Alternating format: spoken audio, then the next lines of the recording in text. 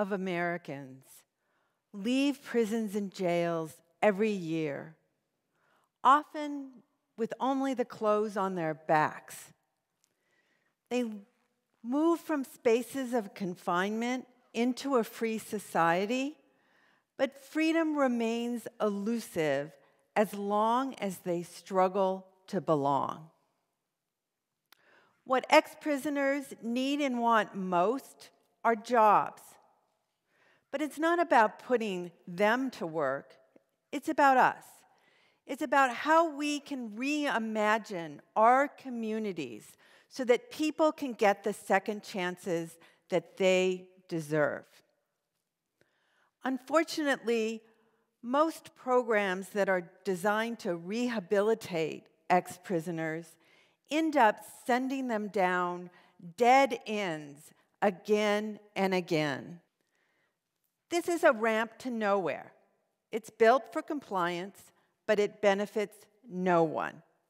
It symbolizes a much more serious problem that we invest in solutions that don't work. For example, we mandate that felons participate in work ready programs, but we do nothing to create more decent jobs or to improve the conditions of low wage work. Or we have tax credits to hire felons that few use and even fewer benefit from. What's different about inclusive design? This curbless city is built to serve the needs of diverse people. It makes it easier for people in wheelchairs. It makes it easier for people who are blind. It even helps this guy who's texting and walking. What a curbless city does is that it creates the openness that benefits everyone.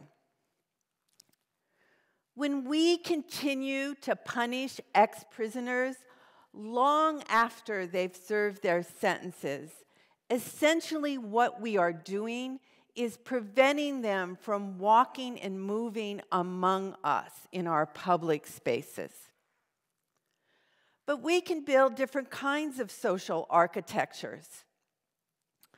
We can create with purpose, we can make for belonging, and we can become architects of inclusion.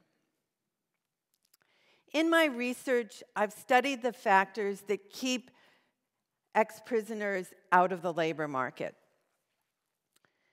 And that research has found that there's discrimination.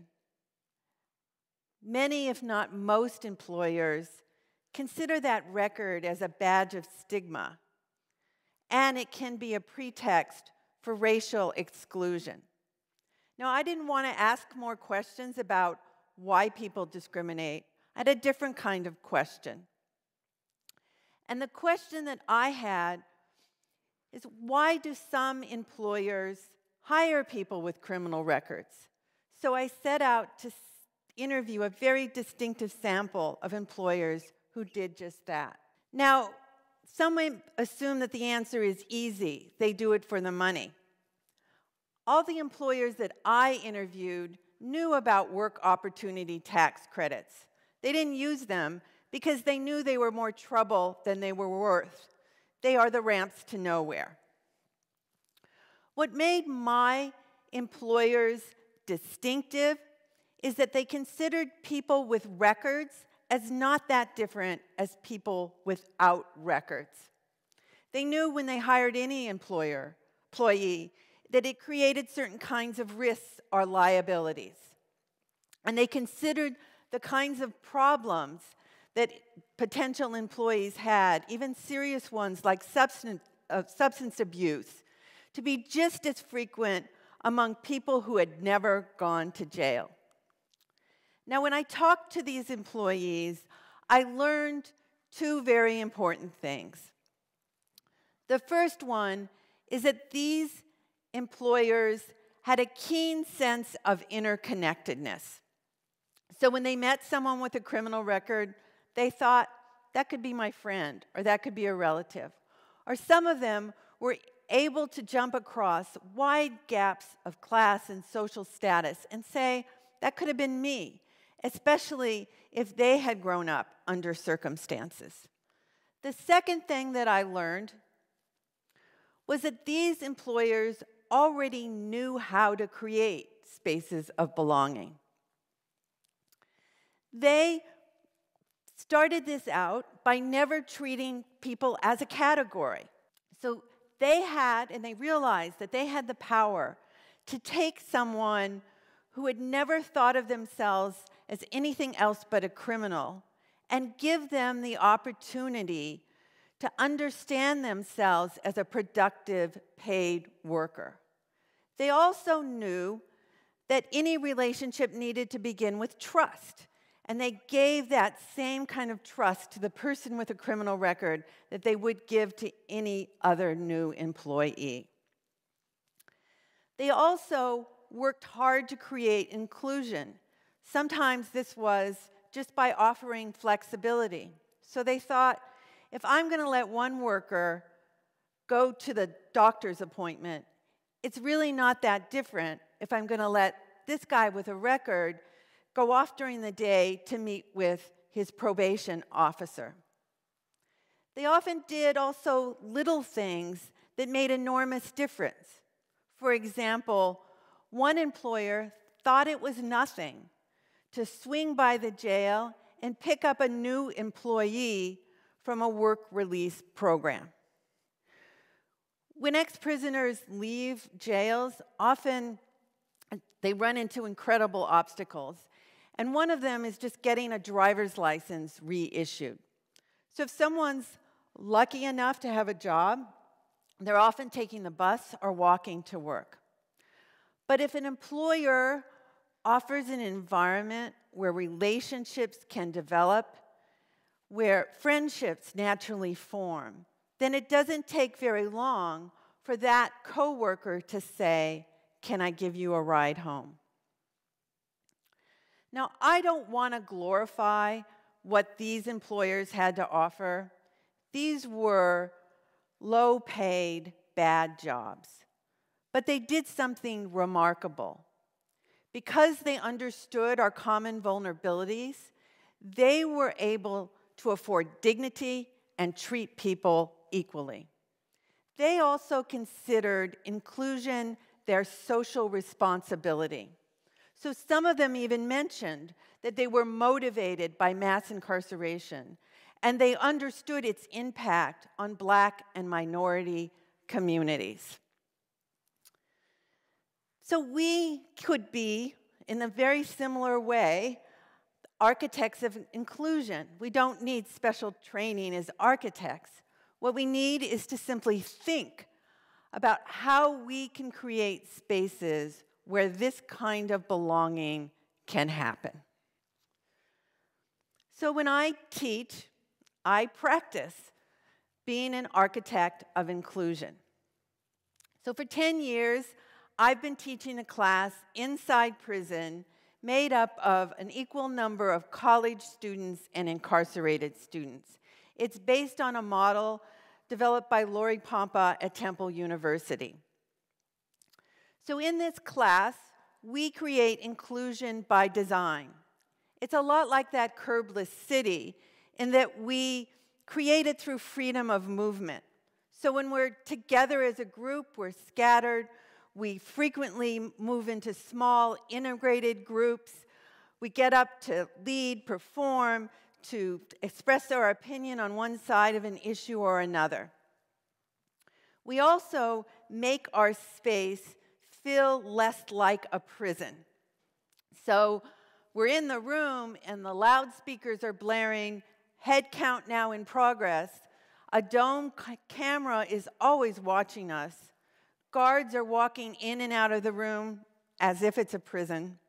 But we make it our classroom. And we make this space feel so different that one inside student once told me it feels like two and a half hours of freedom. It's also a classroom in which people don't put themselves into categories. And each group of students, before the semester began, never imagined being in the same room together. But it doesn't take them long to build relationships and develop that kind of interconnectedness. So most of my students can't say, like my employer, I could have gone that way. But they are able to become like the coworker and say, Can I give you a ride home? Now, in this class, we talk about texts, political science texts on citizenship. But we engage in critical thinking when we move into dialogue about our diverse paths that brought us here together. So, in the context of talking about these readings, students grapple with what it means to be raised in a supported family versus experiencing the terrors of foster care, to have had the opportunity to be schooled where you learn versus being in schools where you're constantly disciplined. Are, at the moment, living in the luxury of a college campus versus experiencing the immediate pains of imprisonment. And importantly, for some, they always have the prospect of that great job in front of them. And for others, they know once they get released, they're looking down a path of persistent unemployment. Now, I don't want to glorify what I can do in one semester, but a few of my inside students leave prison and get that undergraduate degree or start successful businesses. But the thing that happens, I think, to all of the inside students is that they are able to feel like they belong in this academic setting, like their views are valued and respected. And for my Amherst students, it's also the case that many of them mention this was the first classroom they've ever been in where they felt like they could say something unpopular without being ostracized or judged. Now, when I moved from teaching in the prison to the college campus, it's a difficult transition. Hard to create the same kind of belonging, the same kind of, of connection and social architecture. So when I teach on campus, what I try to do is bring the communities and groups that are outside of the room into the room.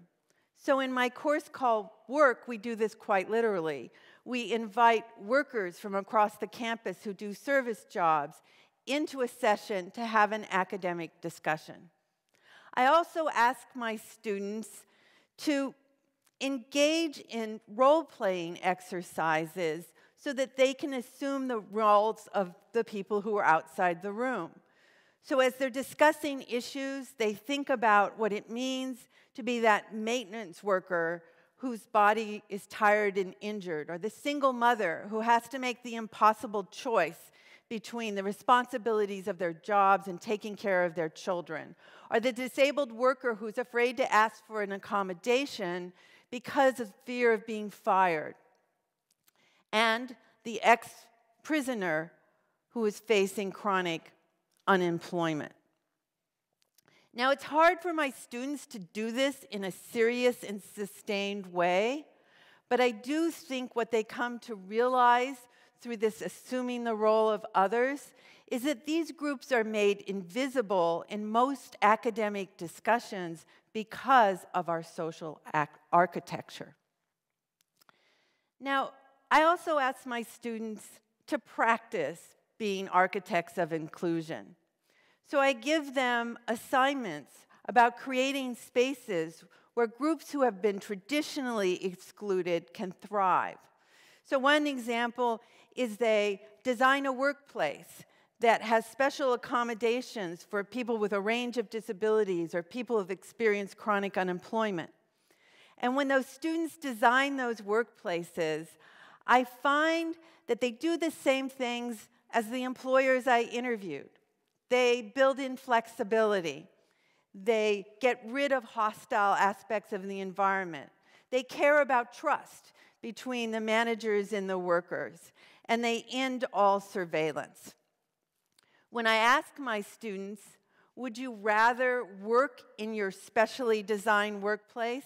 They all emphatically say yes. And I think the reason for that is, is because once we are given the opportunity to redesign our familiar places, it becomes so obvious that designing for the few benefits the many. So when I see my students apply such creativity and use such innovative sense of design, it gives me hope. Hope that we can build fewer ramps to nowhere and instead imagine communities that are defined by openness, freedom, and belonging.